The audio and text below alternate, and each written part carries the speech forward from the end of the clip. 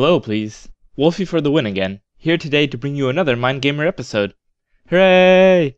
This one's been a long time coming. It's actually the first episode I wanted to make, but I could just never get the right footage for it. Until now. May I present to you, without further delay, the King of the Jungle, the Urban Terror, a beast so frightening that DICE made Operation Locker just to give those who fear it a safe place to hide.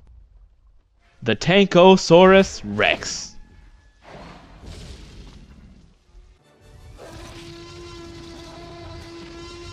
Ah, I love the main battle tank, often abbreviated as the MBT. It's hands down my favorite vehicle in the game. While it may not have the nimbleness of the LAV or the air domination potential of the mobile AA, there is nothing scarier in this game than looking down the barrel of an enemy tank, and in that moment knowing that you are well and truly fucked. However, it's my duty to point out that the ferociousness of the MBT is balanced out by several significant weaknesses that, if left unaccounted for, can lead to a very rapid extinction of the species. If you haven't watched my LAV video, I strongly encourage you to do so. Not only will this episode follow the same format, but many of the lessons covered in that video will apply here as well, and I won't be covering them in as much detail. Today we play on Dawnbreaker, and this is the score at the end of the round. As we watch the footage, I'll explain the thought processes behind each and every action that I take, as well as the mistakes that I make and ways I could have improved my play. As an added bonus, I was on a Mumble server with my squad mates Straz, Freaky, and Vertical, and by including a recording of our chatter, I hope to show you how much more fun and effective it is to play with a well-coordinated squad. Let's start with the pre-battle setup. I run a somewhat unconventional tank loadout.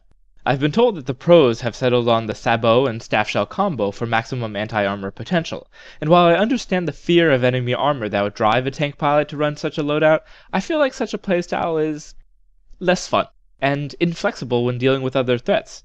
In groups, infantry can be just as dangerous as enemy armor, if not more so.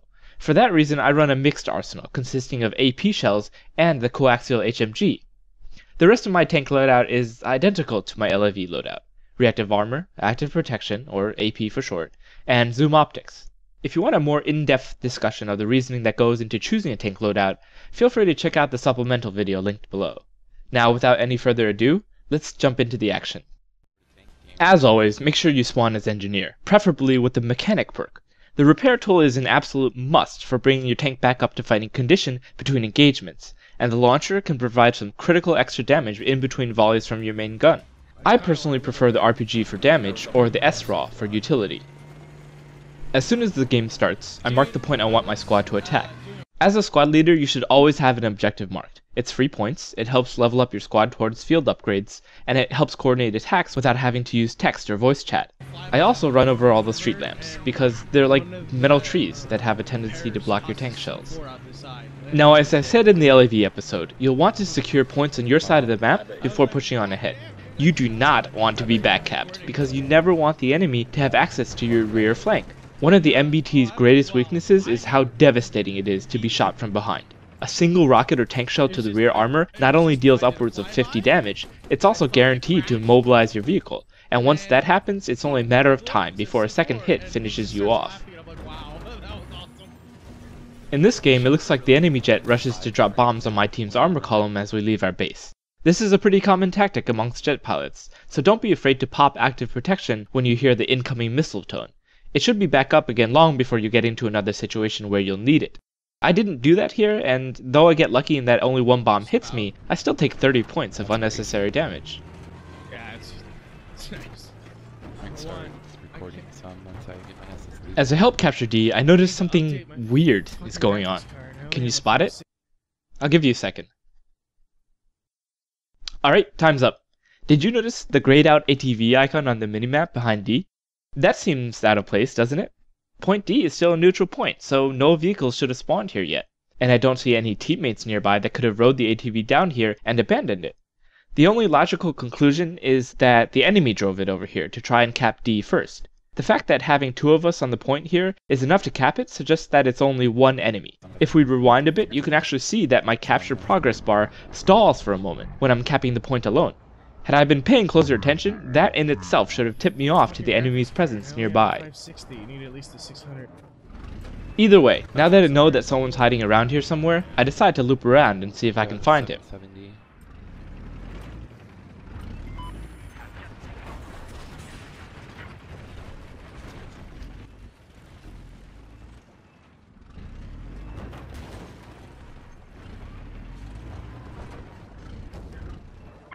I got in the fucking gunner seat. I tried to. Did I steal your seat, Bert? Took my seat, but it's okay. I don't, mi- I don't mind.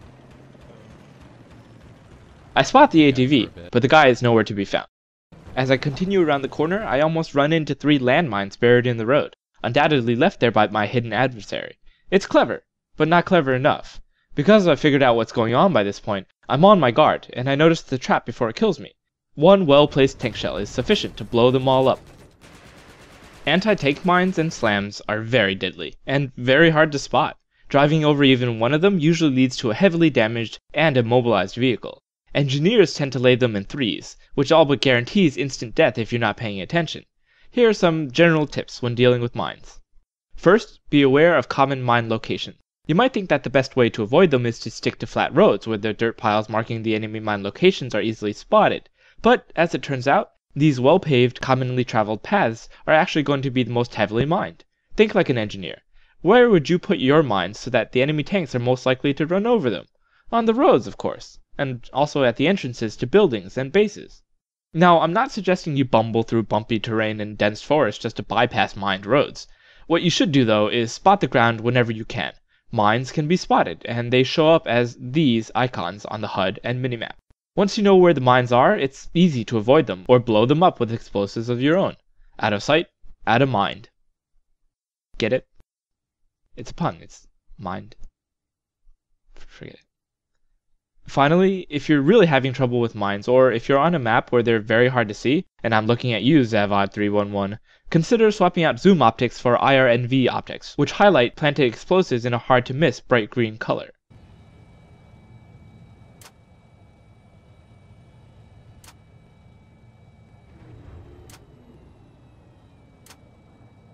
I'm about to go back towards D to continue hunting down my opponent when I see an enemy LAV retreating around the corner up ahead. LAVs are a juicy target for tanks, especially at longer ranges when your main cannon greatly outclasses their weaponry in speed and damage. If you nail them in the wheels with your first shot, you can usually kill them before they recover from the mobility hit. It typically takes 3 AP shells to take down an LAV. I try to arc a shell over the concrete blocks, but I aim too low. I use this first shot to calibrate my next one, which hits dead center and finishes off the weakened vehicle. Let's talk about shot arcing and leading for a bit. These are definitely skills you're going to have to learn if you want to get good at tanking. Don't worry though, they'll come naturally with time and practice. Sure, you can calculate the drop using the built-in rangefinder and estimate velocity vectors to guide your aim, but you'll rarely have the time to make those calculations in the middle of a battle. More often than not, it really boils down to a gut feeling, and the best advice I can give you is this. Don't hold back on a shot just because you don't think you can hit. Take the shot. If you hit, awesome. If you don't, you've just gained a bit of experience that'll help you aim better in the future. Once you get really good at intuiting the arc of your shells, you can pull off some ridiculous shots, and even start to hit targets that are obscured behind cover. This is part of the reason why I like the AP shell. It's fast enough to reliably hit targets at range, but has just enough arc that you can do some fancy tricks with it. That's also why I prefer zoom optics. They allow you to fine tune your aim for really precise shots. Having taken care of the LAV, I noticed that D is being uncapped. Yeah. The enemy sneak has finally decided to reveal himself. Rocket. Despite his solid play up until now, he's gotten himself into quite a pickle, and now is surrounded on all sides. I'm perfectly happy to put a few bullets into him and let my teammates finish him off. My buddy tells me, There's a tank by E. and I immediately head in that direction to punish it for overextending. Enemy armor is still your biggest threat, so if you ever catch an opponent's tank or LAV in a vulnerable position, you should always capitalize on the opportunity to take it out. By the time I get there, though, my teammates have already done just that. I'd like to point out that what this tank did was pretty much a perfect lesson in what not to do as a tanker.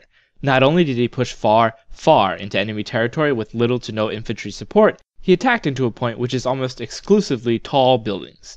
That's practically begging to have rockets and C4 rain down on you from above while you can't aim high enough to return fire. I spot a straggler making a break for it, and I hit him with my standard anti-infantry combo, an AP shell in his general direction, followed by a spray of HMG fire. going up the other side. Any infantry that isn't outright killed by the AP shot is usually weak enough that a single HMG bullet finishes them off. The best part about this combo is that changing weapons doesn't interrupt the reloading of the AP shell, so you can keep using the HMG until your main gun is ready to fire again. I noticed another infantry on the minimap, this time behind me and to my left. I back up and look in that direction, but I see nothing. They must be parachuting from above, and now the question is, where will they land? I have two main rules when dealing with parachuting infantry. Never be directly underneath one, unless you want some C4 pooped on you, and always try to track them from a safe distance so that you can blast them as soon as they land. The easiest way to do this is to watch their icon on your minimap. Whoa, I just fell through the stairs. I blow up one guy as soon as he touches down, while the other infantry scrambles for cover inside the building. I know I won't be able to flush him out, so I leave him to my teammates to deal with as I burst through the fence and head towards D, which is being captured by the enemy. A random chopper falls out of the sky, shortly followed by what I assume to be its ex-pilot. When mashing Q at the dust cloud, I actually managed to spot and kill the poor fella, despite having no visual on him whatsoever. I target D to let my squad know what's up, and then I take out the AA that's shooting at me. Anti-air vehicles are even less of a threat to tanks than they are to LAVs, but as I'm fighting, I make sure to alternatingly drive forwards and backwards, so that anybody trying to C4 me from behind while I'm distracted gets tread marks on their face for their trouble. After that battle, I push a bit too far into D, and I get hit by an RPG before I can turn on my active protection. I kill my attacker with a lucky headshot from the HMG, and I do a ton of damage to his teammate with another AP shell before backing up out of there. All this time the LAV next to me has remained empty, but I realize that sooner or later someone's going to spawn in it and turn on me. I tell my gunner, Freaky, can you take that LAV please? But it gets taken as soon as the words leave my mouth. Now, how can I tell? If you compare the before and after, you can see that not only has the gray, empty vehicle icon disappeared from the HUD, the lights have turned on, and additional attachments have spawned on the LAV. I expected this to happen though, and I'm prepared to deal with it. As soon as I realize the LAV is now hostile, I put an AP shell in its back, shoot an RPG as my main gun reloads, and finish the vehicle off with another AP shell. The driver doesn't even have time to react before he's blown up along with his vehicle. This combination of shell rocket shell is very powerful, but it can be tricky to use. There's the very real possibility of getting killed, leaving behind a free tank for your enemy, but there's a few things you can do to mitigate that risk. First, only get out if your opponent is not aiming at you, or if he's shot his main gun and is reloading. Second, try to have your weapon already out when you enter the tank. That way you don't have to waste a few fractions of a second switching to it, like I do here. Just be sure to swap back to your repair tool first if you get out to fix your vehicle, or else you'll feel really dumb when you shoot a point blank rocket at your own tank. Not that Oh, I'm dang. speaking from experience or anything. It's all good.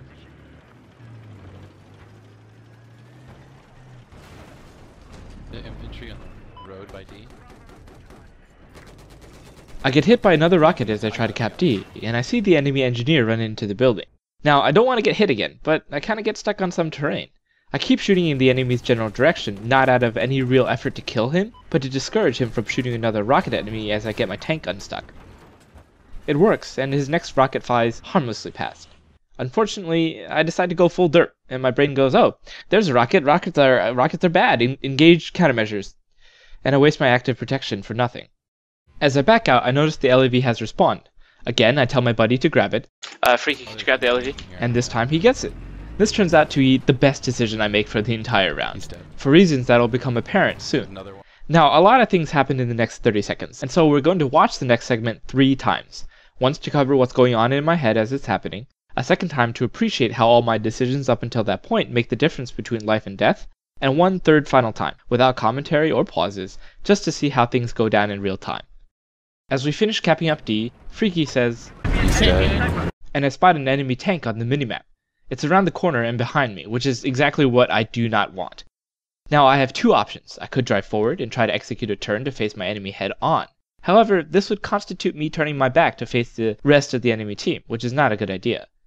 Instead, I decide to go up past the enemy tank so that if he were to shoot me, he'd only hit my side or front armor. As I reverse, I also turn my tank so that it's angled 45 degrees towards him.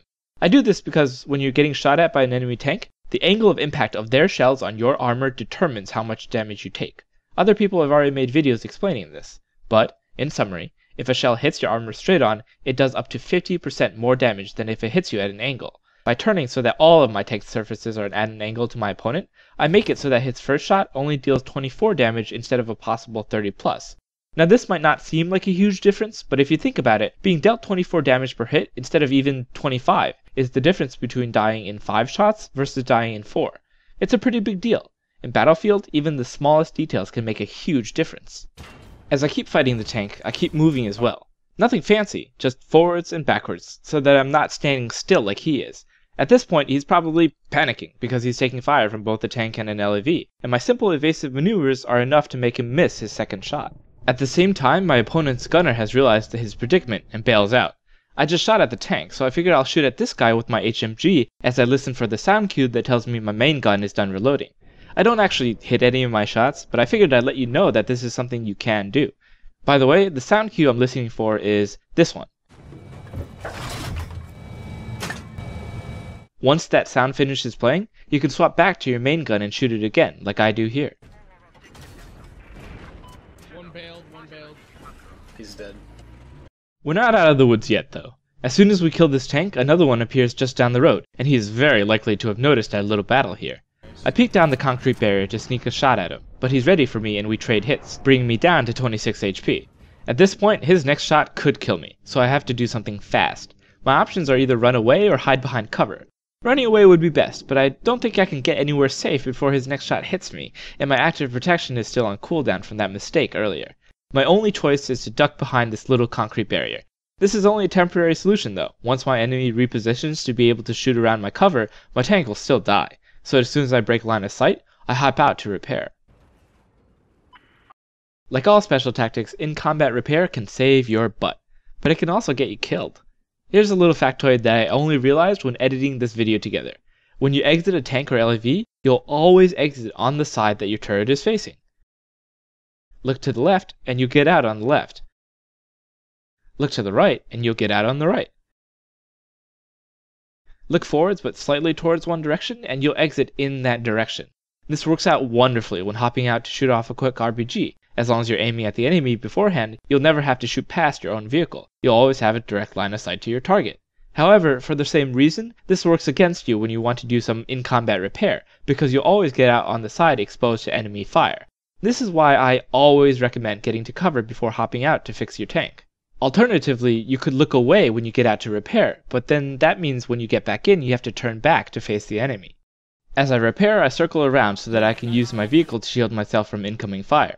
I do this just in time to avoid a rocket that hits my tank and brings it down to just 5 HP. Holy crap. 5 HP? In the last 30 seconds, if I had not done all those small things to absolutely minimize how much damage I took, I would have died right there. If I had not told Freaky to get into the LAV and help me fight off all these opponents, uh, Freaky, could you grab the LAV? Probably would have died. If I had not been marking points and building up towards a filled up mechanic perk field upgrade, Freaky's LAV would not have started to heal me when he got into it. And I would have died.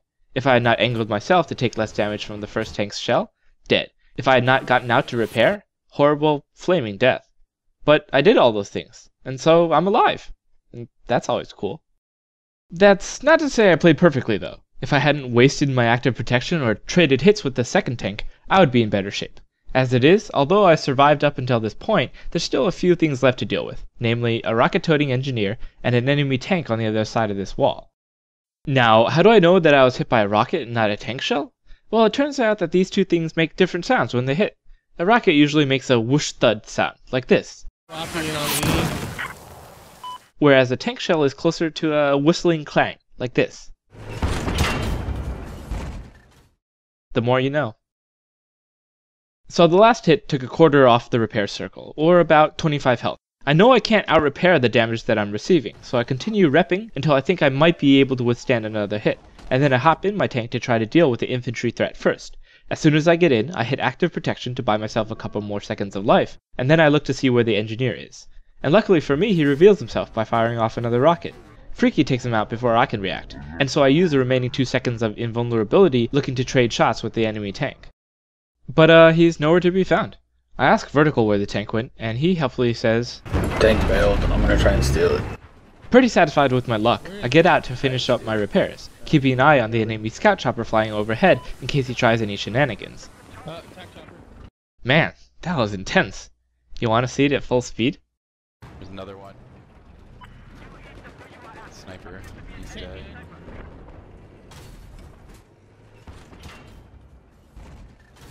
Oh my god, they're everywhere. One bailed, one bailed. He's dead. Nice. Dude, a guy dropping it on me.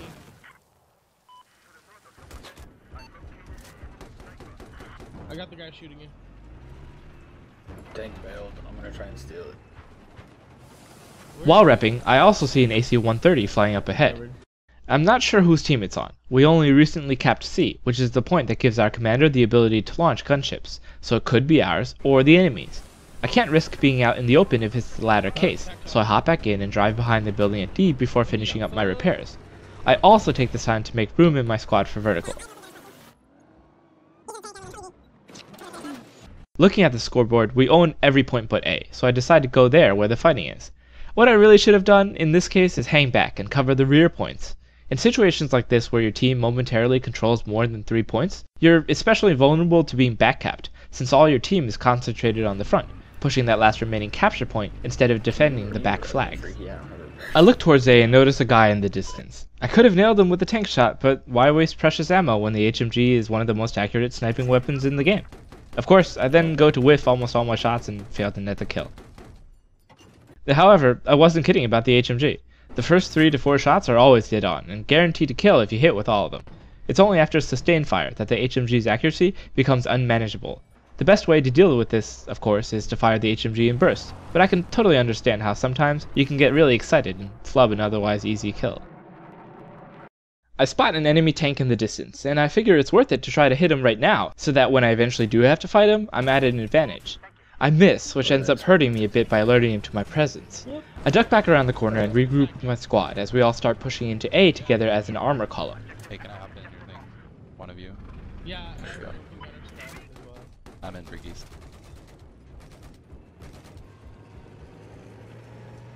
I do my part by marking the point, and as I drive up I keep my eyes on the road for mines. Mine's on uh, road. I spot some further up, but my vision is obscured by a stupid fallen tree. Even in death, these leafy green demons continue to torment me. Will I ever be free from their wrath? Actually, yeah, on Silk Road. I try to blow up the mines with a tank shell, but I miss because I can't see to accurately judge how far away they are. At the same time, an enemy tank icon shows up on my screen, and I can't see where he's aiming, so I turn on my active protection just in case he's about to shoot me. Which he isn't. Again, if you're watching this video, tree, I just want to let you know how much I hate you. Not wanting to waste my active protection, I decide to be aggressive. Be, be aggressive. I hit my opponent with one shot through the fallen tree, and drive forward to line up a second shot. The green light around my opponent, though, tells me that he has active protection on, and so I should wait for it to run out before shooting again. I don't wait long enough, though, and his AP stays up just long enough to negate my follow-up. My opponent then hits me with the sabot shell, then a staff shell immediately followed by a second sabot, taking me down from 100 to 29 HP in 3 seconds. Damn, that's scary. I can see why so many people prefer that combo. I quickly back up as my gunner gets out to fix me up. Thanks, buddy. Now it's the enemy tank's turn to make mistakes. He chases after me because he thinks he has me dead to rights, and he would be right if I didn't have another tank, an LAV, and half a dozen engineers covering my back. He only manages to get a single shot off at me, which Freaky heroically takes in my place, before being blown to bits. Always be careful about being too greedy. Your life is worth much more than one enemy ticket. Don't chase after a kill if it puts you in a dangerous position, no matter how much you want it.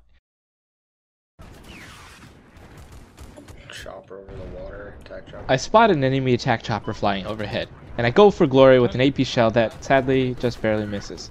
I probably should have stayed focused on the enemies in front of me, but sometimes you just gotta do what's fun instead of what's smart. Turning back towards A, the dumb tree refuses to go away, and so I decide to head down along the right side instead of charging blindly forward. A quick third person check lets me spot an ATV coming this way, as well as an infantry that's running around the corner. I give the ATV a friendly wave as it drives past me. Back up a little. To get at the other guy I spotted, I drive down to the lower part of A.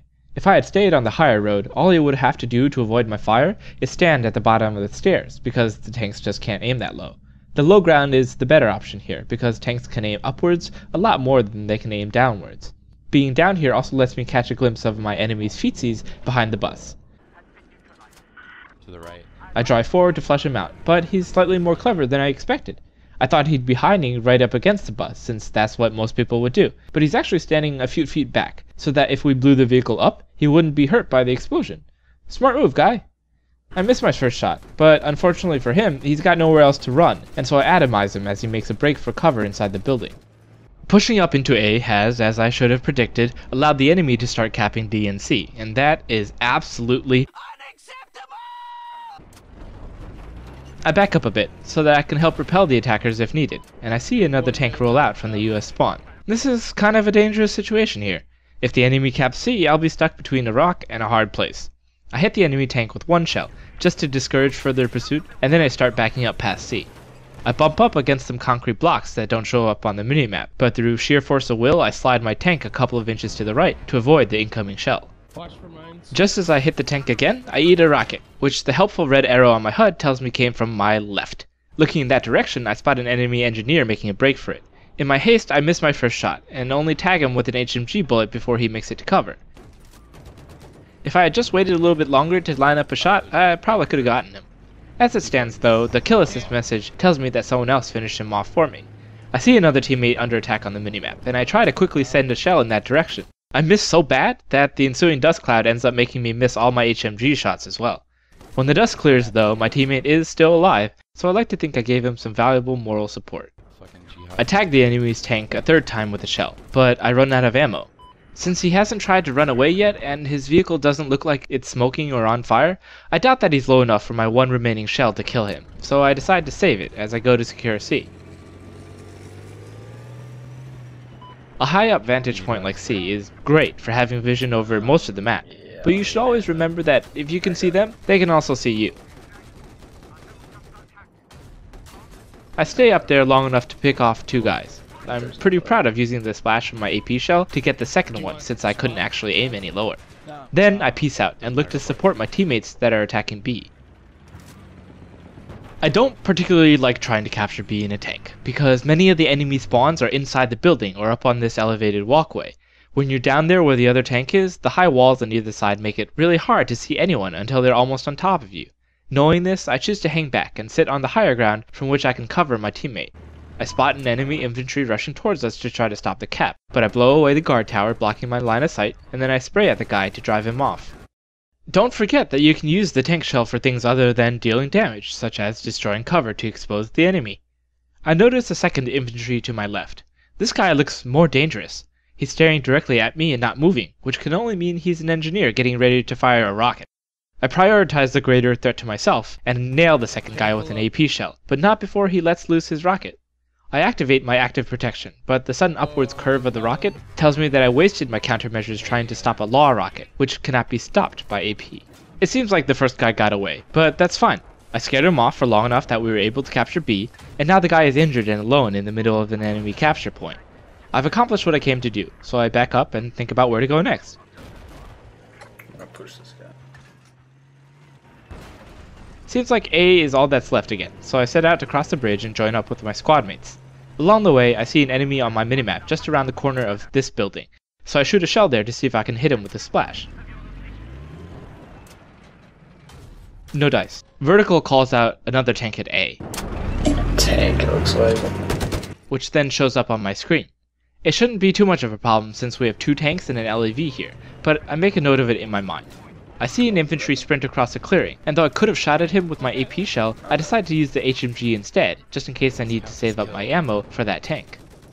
I notice that the enemy tank is just around the corner, so I peek out and tag him with a quick shell. I don't get a hit marker, and I can see that he's blocked the damage using active protection. Rockets and shells stopped by AP tend to make bigger, brighter explosions than those hitting their target.